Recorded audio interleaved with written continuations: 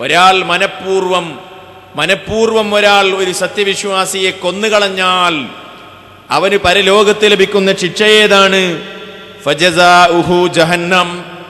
അവന്റെ പ്രതിഫലമായി അവന് പരലോകത്ത് ലഭിക്കാനിരിക്കുന്നത് ജഹന്നമാണ്. അവന് നരകമാണ് ലഭിക്കാനിരിക്കുന്നത്. ഖാലിദൻ അതിൽ അവൻ എന്നും നിത്യവാസിയാണ് ശാശ്വതനാണ്. അലൈഹി. കോപം അവന്റെ മേലുണ്ട്. അള്ളാഹു അവനെ ശപിക്കുകയും ചെയ്തിരിക്കുന്നു. വമ്പിച്ച ശിക്ഷയാണ് അവന് അള്ളാഹു ഒരുക്കി വെച്ചിരിക്കുന്നത്. അഞ്ച് ശിക്ഷയാണ് അള്ളാഹു സുബാനഹു ചാല മുഗ്മിനായ ഒരു മനുഷ്യനെ മനഃപൂർവം കൊന്നുകളഞ്ഞാൽ അയാൾക്ക് അഞ്ച് ശിക്ഷയാണ് അള്ളാഹു സുബാനഹു ചാല പറഞ്ഞിട്ടുള്ളത്. ഒന്നാമതല്ല പറഞ്ഞു ജഹന്നം. അവന്റെ പ്രതിഫലം അവന് പ്രതിഫലം നൽകുന്നത് ജഹന്നബ് കൊണ്ടാണ്. രണ്ടാമതല്ല പറഞ്ഞു ഖാലിദൻ ഫീഹാ. അവൻ അതിൽ നിത്യവാസിയാണ്. അള്ളാഹു ഉദ്ദേശിക്കുന്ന കാലമത്രയും അവൻ നരകത്തിൽ കഴിച്ചു കൂട്ടേണ്ടി വരും. മാത്രമല്ല മൂന്നാമതല്ല പറയാണ് അള്ളാഹുവിന്റെ കോപമുണ്ട് അവന്റെ മേൽ. അതേപോലെ നാലാമതല്ല പറഞ്ഞു അള്ളാഹുവിന്റെ ശാപമുണ്ട്. അഞ്ചാമത് അല്ല പറയാണ് വമ്പിച്ച ശിക്ഷയാണ് അവൻ അള്ളാഹു ഒരുക്കി വെച്ചിരിക്കുന്നത്. പണ്ഡിതന്മാർ ഈ ആയത്തുകളെയൊക്കെ വിശദീകരിക്കുമ്പോൾ അബ്ബാസ് കുറിച്ച് നമുക്കറിയാം. റഈസുൽ മുഫസിരീൻ എന്ന പേരിൽ അറിയപ്പെടുന്ന മഹാനായ റസൂലുള്ളാഹി സ്വല്ലല്ലാഹു അലൈഹി വസല്ലമിന്റെ സഹാബിമാരിൽ പ്രഗത്ഭനും പണ്ഡിതനുമായ ഇബ്നു അബ്ബാസ് റളിയല്ലാഹു അള്ളാഹുവിന്റെ അഭിപ്രായം തന്നെ കാണാം. മനഃപൂർവം ഒരു മുഗ്മിനെ ഒരാൾ കൊന്നാൽ അയാൾക്ക് തൗബയില്ല പശ്ചാത്താപമില്ല എന്ന് വരെ മഹാനായ ഇബിനു അബ്ബാസ് റളിയല്ലാഹു അൻഹു അഭിപ്രായപ്പെട്ടത് നമുക്ക് കാണാം സഹോദരന്മാരെ. മാത്രമല്ല നബി തിരുമേനി സ്വല്ലല്ലാഹു അലൈഹി വസല്ലം പറഞ്ഞു മറ്റൊരവസരത്തിൽ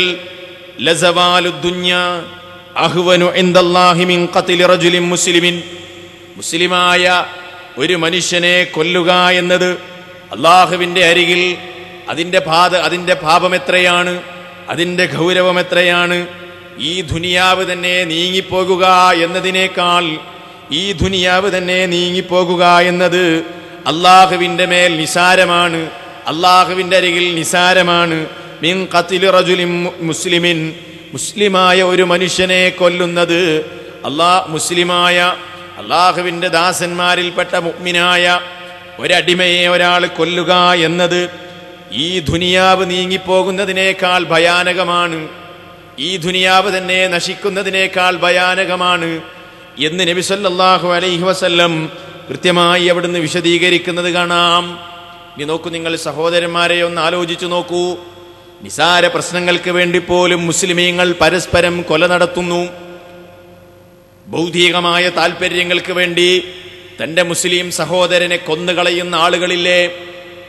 സ്വത്ത് തർക്കത്തിന്റെ പേരിൽ മുസ്ലിം സഹോദരന്മാർ തന്നെ പരസ്പരം കുത്തിമരിക്കുന്ന സംഭവങ്ങൾ പത്രങ്ങളിലൂടെ നാം വായിക്കാറില്ലേ?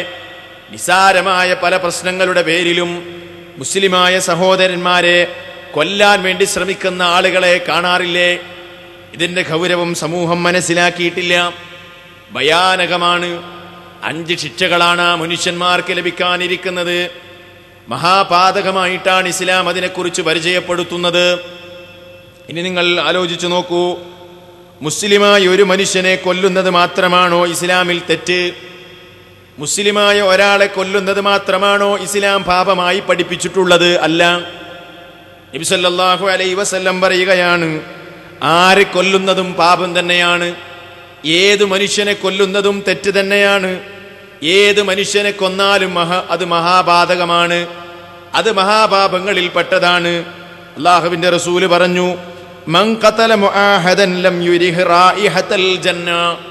മുസ്ലിമീങ്ങളുമായി സൗഹാർദ്ദത്തിൽ കഴിഞ്ഞുകൂടുന്ന മുസ്ലിമീങ്ങളെ അവരുടെ വീടുകളിൽ നിന്ന് ആട്ടിപ്പുറത്താക്കാത്ത മുസ്ലിങ്ങളുമായി സൗഹാർദ്ദത്തിൽ കഴിഞ്ഞുകൂടുന്ന മുസ്ലിങ്ങളുമായി സ്നേഹബന്ധത്തിൽ കഴിഞ്ഞുകൂടുന്ന ഒരു അമുസ്ലിമിനെ മുസ്ലിമല്ലാത്ത ഒരു മനുഷ്യനെ ഒരാൾ വധിച്ചു കളഞ്ഞാൽ അവനുള്ള ശിക്ഷ എന്താണ്? റസൂലുള്ള വിശദീകരിക്കുന്നു. അവൻ ഒരിക്കലും സ്വർഗത്തിന്റെ പരിമളം പോലും ആസ്വദിക്കാൻ കഴിയുന്നതല്ല. മുസ്ലിമിനെ കൊന്നാലല്ല മുസ്ലിമീങ്ങളുമായി സൗഹാർദ്ദത്തിൽ കഴിയുന്ന സ്നേഹബന്ധത്തിൽ കഴിയുന്ന ഒരു അമുസ്ലിമിനെ കൊന്നാലുള്ള ശിക്ഷയാ പറയുന്നത്. നോക്കൂ നിങ്ങൾ എന്തുമാത്രം ഗൗരവമാണ്. ലോകത്ത് തീവ്രവാദ പ്രവർത്തനങ്ങൾ നടത്തുന്ന ആളുകളുണ്ട്. ഇസ്ലാമിന്റെ പേരിൽ ഇസ്ലാമിന്റെ പേരിൽ മറ്റുള്ള ആളുകളെ കൊന്നൊടുക്കുന്ന ആളുകളുണ്ട്. പേര് പറയുന്നത് ഇസ്ലാമിന്റെ പേരാണ്. സഹോദരന്മാരെ സത്യത്തിൽ അവരൊന്നും ഇസ്ലാമിന്റെ പ്രമാണങ്ങളെക്കുറിച്ച് ശരിക്ക് പഠിച്ചിട്ടില്ല. ഇസ്ലാമിന്റെ പ്രമാണങ്ങളെക്കുറിച്ച് ശരിക്ക് അവരറിഞ്ഞിട്ടില്ല. കൃത്യമായി ഇസ്ലാമിനെ അവർ മനസ്സിലാക്കിയിട്ടില്ല. ഉണ്ടെങ്കിൽ ഒരു നിരപരാധിയെ കൊല്ലാൻ എങ്ങനെയാ ഒരു മുസ്ലിമിനെ കൊണ്ട് കഴിയുന്നത്? വിശുദ്ധ ഖുർആൻ എന്താ പറഞ്ഞത്? ആരെങ്കിലും ന്യായമില്ലാതെ അന്യായമായി ഒരു നിരപരാധിയായ മനുഷ്യനെ ഒരാൾ കൊന്നു കഴിഞ്ഞാൽ ലോകത്തുള്ള മുഴുവൻ മനുഷ്യനെയും കൊന്ന് കൊന്നതിനുള്ള ശിക്ഷയാണ് കൊന്ന കുറ്റമാണ് ആ മനുഷ്യന് കിട്ടുന്നത്. ഏ ഒരു മുസ്ലിമിനെ കൊന്നാൽ എന്നല്ല ഖുർആൻ പറഞ്ഞത്? ഒരു മുഅ്മിനിനെ കൊന്നാൽ എന്നുമല്ല ഖുർആൻ പറഞ്ഞത്. മൻ ഖതല നഫ്സൻ ബിഗൈരി നഫ്സിൻ ഔ ഫസാദിൻ ഫിൽ അർളി ഫകഅന്നമാ ഖതലൻ നാസ ജമീആ. വിശുദ്ധ ഖുർആനിലെ സൂറത്തുൽ മാഇദയിലെ മുപ്പത്തിരണ്ടാമത്തെ വചനത്തിൽ കാണാം. ആരെങ്കിലും ഒരു മനുഷ്യനെ കൊന്നാൽ ഒരു നഫ്സിനെ കൊന്നാൽ ബിഗൈരി നഫ്സിൻ മറ്റൊരു നഫ്സിന് പകരമല്ലാതെ അതായത് പ്രതിക്രിയക്ക് വേണ്ടി മാത്രം പ്രതിക്രിയക്ക് വേണ്ടിയല്ലാതെ ന്യായം കൂടാതെ ഒരാൾ മറ്റൊരാളെ കൊന്നു കഴിഞ്ഞാൽ ലോകത്തുള്ള സർവ മനുഷ്യരെയും കൊന്നതിന് തുല്യമാണ് എന്ന് നബി വിശുദ്ധ ഖുർആൻ വിശദീകരിക്കുന്നു. അതുകൊണ്ട് സഹോദരന്മാരെ മറ്റൊരാളെ കൊന്നുകളയരുത് ഒരിക്കലും പ്രത്യേകിച്ച് മുസ്ലിമിനെ ഒരാളെയും കൊല്ലുന്നത് കൊല്ലാൻ പാടില്ല.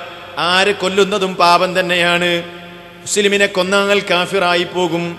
അല്ലാതെ റസൂൽ പറയുകയാണ് അവിടുന്ന് അവസാനമായി ഹജ്ജത്തിൽ വിദായിൽ ഈ ഉമ്മത്തിന് നൽകിയ ഉപദേശത്തിൽ കാണാം. സുലുള്ള പറയുകയാണ് കുഫാരൻ നിങ്ങൾ എന്റെ കാലശേഷം കുഫാറുകളായി ഒരിക്കലും മടങ്ങിപ്പോകരുത്. കുഫാറുകളായി എന്റെ കാലശേഷം ഈ ദീനിൽ നിന്ന് നിങ്ങൾ മടങ്ങിപ്പോകരുത്. അലൈഹി വസല്ലം പറയുന്നു എങ്ങനെയാ കുഫാറുകളായി പോകുന്നത്? ഇമാം ബുഖാരി എവിടുത്തെ സ്വഹീഹിൽ റിവായത്ത് ചെയ്യുന്നത് കാണാം. നിങ്ങൾ പരസ്പരം ചിലർ ചിലരുടെ പിരടി വെട്ടി മറ്റു ചിലരെ കൊന്നു കളഞ്ഞുകൊണ്ട് ഇസ്ലാമിൽ നിന്ന് നിങ്ങൾ കുഫാറുകളായി പുറത്തു പോകരുത്. അള്ളാഹുവിന്റെ റസൂലിന്റെ ഉപദേശമാണ്. ഒരു മുസ്ലിം ഒരിക്കലും മറ്റൊരു മുസ്ലിമിനെ ആക്രമിക്കാൻ പാടില്ല. ഇസ്ലാമിന്റെ സന്ദേശമാണ് ആക്രമിക്കാൻ മറ്റൊരാൾക്ക് അവനെ ഏൽപ്പിച്ചു കൊടുക്കാൻ പാടില്ല. അവനെ ചതിക്കാൻ പാടില്ല അവനെ വഞ്ചിക്കാൻ പാടില്ല അവന്റെ രഹസ്യം പോലും മറ്റുള്ളവർക്കിടയിൽ പ്രചരിപ്പിക്കാൻ പാടില്ല അവന്റെ അഭിമാനത്തിന് ക്ഷതം വരുത്താൻ പാടില്ല അവന്റെ അഭിമാനത്തിന് ഭംഗം വരുത്തുന്ന അവന്റെ രഹസ്യങ്ങൾ സമൂഹത്തിൽ പ്രചരിപ്പിച്ച് അവന്റെ വ്യക്തിത്വം നഷ്ടപ്പെടുത്താൻ പാടില്ല. ഇതൊക്കെ ഇസ്ലാം വിരോധിച്ചതാണ് അതൊക്കെ മഹാപാപമാണ്. എങ്കിൽ നോക്കൂ നിങ്ങൾ ഒരാളുടെ രഹസ്യം പറയൽ മഹാപാപമാണെങ്കിൽ അതുപോലെ തന്നെ അയാളുടെ അയാളെക്കുറിച്ച് ഗീബത്ത് പറയൽ പാത അത് അത് പാപമാണെങ്കിൽ അയാളുടെ അഭിമാനം ക്ഷതപ്പെടുത്തൽ പാപമാണെങ്കിൽ അയാളുടെ അയാളെക്കുറിച്ച് അപവാദം പ്രചരിപ്പിക്കൽ കബായിർ വൻപാപത്തിൽ പെട്ടതാണെങ്കിൽ പിന്നെ കൊല്ലുന്നത് എത്രമാത്രം ഗുരുതരമായിരിക്കും? അതുകൊണ്ട് തന്നെയാ റസൂലുള്ള പറയുന്നത് നിങ്ങൾ പരസ്പരം പിരടി വെട്ടിക്കൊണ്ട് ഇസ്ലാമിൽ നിന്ന് പുറത്തു പോകരുതേ സ്വഹാബത്തെ. സ്വല്ലല്ലാഹു അലൈഹി വസല്ലം മറ്റൊരവസരത്തിൽ പറഞ്ഞു ലാ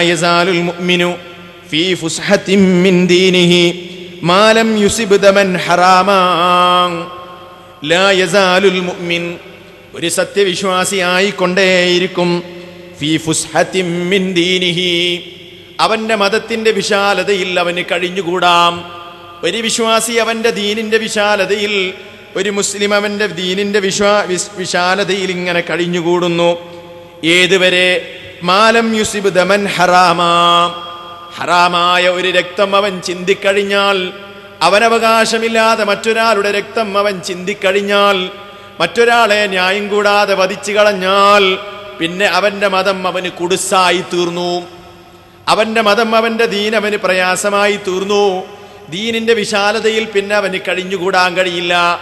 ദീനിന്റെ നിയമങ്ങളെ അവൻ ലംഘിച്ചു കഴിഞ്ഞു. യഥാർത്ഥത്തിലുള്ള ദീന് അവനിൽ നിന്ന് നഷ്ടപ്പെട്ടു പോയി. അതാ നബി സല്ലല്ലാഹു അലൈഹി വസല്ലം പറഞ്ഞത് അവന്റെ ദീനിന്റെ വിശാലതയിൽ തന്നെ അവന് കഴിഞ്ഞുകൂടാം. രക്തം ചിന്തിയിട്ടില്ലെങ്കിൽ അള്ളാഹുവിന്റെ റസൂൽ വരുന്ന കാലഘട്ടം നിങ്ങൾക്കറിയാം സഹോദരന്മാരെ. നബിസല്ലാഹു അലൈഹി വസ്ല്ലം വരുമ്പോൾ ജാഹിലിയ കാലഘട്ടത്തിൽ നിലനിന്നിരുന്ന മൂന്ന് സംഭവങ്ങളുണ്ട് മൂന്ന് സംഗതികളുണ്ട്. അവർക്ക് യുദ്ധത്തോട് വലിയ താല്പര്യമായിരുന്നു അതുപോലെ തന്നെ മദ്യത്തോട് അവർക്ക് വലിയ താല്പര്യമായിരുന്നു അതുപോലെ വ്യഭിചാരത്തോട് വലിയ താല്പര്യമായിരുന്നു അങ്ങനെയുള്ള എല്ലാ തെമ്മാടിത്തത്തിലും കഴിഞ്ഞുകൂടിയിരുന്ന ഒരു ജനതയോട് ഒരു ജനതയോട് അള്ളാഹുവിന്റെ റസൂൽ പറയുകയാണ് ന്യായം കൂടാതെ നിങ്ങൾ മറ്റൊരാളെ വധിച്ചു കളയരുത്. അത് മഹാപാതകമാണ് രാവിലെ ഊരി പിടിച്ച വാളുമായി ഒരു അറബി തന്റെ വീട്ടിൽ നിന്ന് പുറത്തിറങ്ങുമ്പോൾ അവന്റെ ഉദ്ദേശം എന്താണ് വൈകുന്നേരം വീട്ടിലേക്ക് വരുമ്പോൾ ഈ വാൾ മൂലം ഒരാളെ ആക്രമിച്ചിട്ടില്ലെങ്കിൽ മറ്റൊരാളുടെ രക്തം ചിന്തിയിട്ടില്ലെങ്കിൽ അവന്റെ ശരീരത്തിൽ നിന്ന് തന്റെ സഹോദരന്റെ ശരീരത്തിൽ നിന്ന് ഒരു തുള്ളി രക്തമെങ്കിലും ഈ വാളിൻ തുമ്പിൽ പുരണ്ടിട്ടില്ലെങ്കിൽ അതെന്റെ അഭിമാനത്തിന് ക്ഷതപ്പെടു ക്ഷതം വരുത്തും എന്ന് ചിന്തിച്ചിരുന്ന അതെന്റെ അഭിമാനത്തിന് പ്രശ്നമാണെന്ന് ചിന്തിച്ചിരുന്ന കാടൻ അറബികൾ സംസ്കാരം തൊട്ട് തീണ്ടാത്ത സ്വഭാവ രംഗത്ത് അധപതിച്ചുപോയ ഒരു സമൂഹത്തിന്റെ മധ്യത്തിലേക്കാണ് അള്ളാഹുവിന്റെ റസൂലിനെ അള്ളാഹു സുബാനഹുവല നിയോഗിക്കുന്നത്. വൈകുന്നേരം തന്റെ വീട്ടിലേക്ക് തിരിച്ചു വരുമ്പോ തന്റെ പ്രിയതമ പരിശോധിക്കുന്നത് തന്റെ ഭർത്താവിന്റെ വാളിന്തുമ്പാണ് തന്റെ സഹോദരന്റെ ഒരു രക്തം പോലും അതിൽ പുരണ്ടിട്ടില്ലെങ്കിൽ അത് തന്റെ ഭർത്താവിന്റെ അഭിമാനത്തിന്റെ പ്രശ്നമായി കണ്ടിരുന്ന ഭാര്യമാർ ജീവിച്ചിരുന്ന ഒരു കാലഘട്ടം തീർത്തും ഒരു ഇരുണ്ട യുഗം തന്നെയായിരുന്നു. നബി സല്ലല്ലാഹു അലൈഹി വസല്ലം നിയോഗിക്കപ്പെടുന്ന ആറാം നൂറ്റാണ്ടിലെ അറബികൾ ആ രൂപത്തിലുള്ള അപരിഷ്കൃത അപരിഷ്കൃതരായിരുന്നു അവർ. നബി സല്ലല്ലാഹു അലൈഹി വസല്ലം അവരോട് പറഞ്ഞു ഒരിക്കലും ഈ ബാ ഈ കുറ്റം നിങ്ങൾ ചെയ്തു പോകരുത്. സഹോദരനെ ആക്രമിക്കാൻ പോലും പാടില്ലെന്നല്ലേ? പിന്നെ എങ്ങനെ നിങ്ങൾക്ക് കൊല്ലാൻ കഴിയും? അത് മഹാ അപകടമാണ് മഹാപാപമാണ് സല്ലല്ലാഹു അലൈഹി വസല്ലം കൃത്യമായി അവരെ കൃത്യമായി ഇസ്ലാമിന്റെ സന്ദേശത്തിലേക്ക് ക്ഷണിച്ചു. ജനിച്ചു വീഴുന്നത് പെൺകുഞ്ഞാണെന്നറിഞ്ഞാൽ അപമാനത്തിന്റെ ഭാരം കൊണ്ട് ജാഹിലിയ കാലഘട്ടത്തിലെ അറബികളുടെ അറബികളിൽപ്പെട്ട ചില കബീലകൾ ചില ഗോത്രങ്ങൾ ജനിച്ചത് പെൺകുഞ്ഞാണെന്ന് പെൺകുഞ്ഞാണെന്നറിഞ്ഞാൽ ആ പെൺകുഞ്ഞിനെ ജീവനോടെ കുഴിച്ചു മൂടാൻ മടിക്കാത്തവരായിരുന്നു ജാഹിലിയ കാലഘട്ടത്തിലെ അറബികൾ. നബിസല്ലാഹു അലൈ വസല്ലം അള്ളാഹു റസൂലിനെ നിയോഗി നിയോഗിക്കുകയും എന്നിട്ട് കൃത്യമായി അവരോട് പറയുകയും ചെയ്തു. കുഴിച്ചുമൂടപ്പെട്ട പെൺകുട്ടിയെ സംബന്ധിച്ച് ആ പിഞ്ചു പൈതലിനെ സംബന്ധിച്ച് നാളെ പരലോകത്ത് ചോദ്യം ചെയ്യപ്പെടും മനുഷ്യരെ. ആ കുട്ടിയെ സംബന്ധിച്ച് കൃത്യമായി വിചാരണ നടക്കും.